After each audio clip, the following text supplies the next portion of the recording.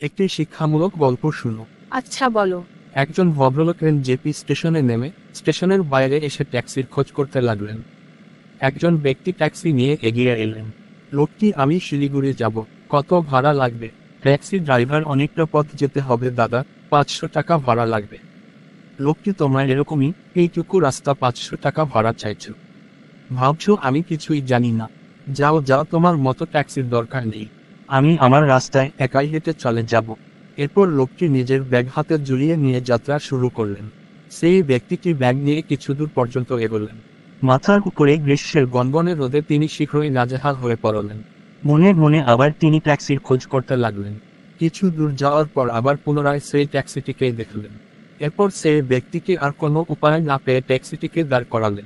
লোকটি, আরে ভাই, আমি তো এবার প্রায় অর্ধেকটা রাস্তা চলে এসেছি। তাহলে এবার কত টাকা লাগবে? ড্রাইভার, এবার সাতশো পঞ্চাশ টাকা লাগবে। লোকটি, তোমরা তাজরব লোক। দেখছ যে, আমি আর পারছি না, তাই দাম বাড়িয়ে দিলে। আমি তো অর্ধেকটা রাস্তা চলে এসেছি। হিসেব মতো দুশো পঞ্চাশ টাকা হওয়ার কথা। ড্রাইভার, দাদা, এতক্ষণ ধরে আপনি যে রাস্তায় হাঁটছিলেন, সেটা শিলিগুড়ির উল্টো দিকের রাস্তা। এই রাস্তা দিয়ে হাঁটতে থাকলে আপনি শিলিগুড়ি নয়, জলপাইগুড়ি পৌঁছে যাবেন। তাই আপনি অর্ধেকটা রাস্তা উল্টো দিকে বেশি চলে এসেছেন। এ কারণেই আমি আগের থেকে দুইশো পঞ্চাশ টাকা বেশি চেয়েছি।